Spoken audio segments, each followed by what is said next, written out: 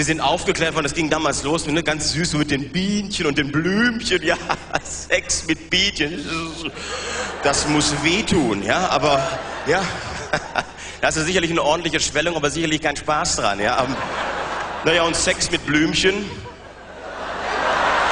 so? Meine, ja, äh, ich meine, solange sie nicht singt dabei, kann ich mir das schön vorstellen. Ich meine, es ist. Ich meine, aber